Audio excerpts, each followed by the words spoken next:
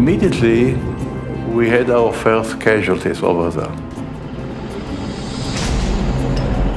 We tried to avoid them from crossing, but the ratio between their forces and our forces were unthinkable.